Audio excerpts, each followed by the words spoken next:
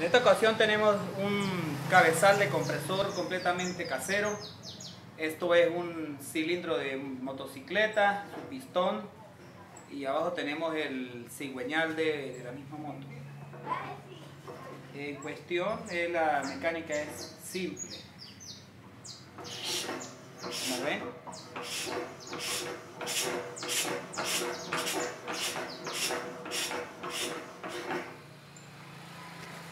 acá le vamos a colocar le vamos a colocar acá eh, una tapa otra tapa otra tapa y acá atrás le vamos a colocar otra tapa o sea para eso es para el aceite. Como ven aquí está el cigüeñal.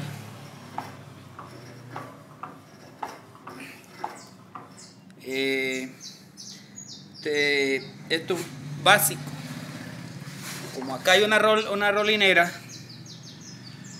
entonces colocamos una, un, un ángulo acá otro ángulo acá otro acá y otro para crear un cuadrado que, que apretó la rolinera igual del otro lado. Como no tengo torno no pude hacerlo perfecto pero se está haciendo todo lo posible. Continúen aquí arriba va a llevar una tapa.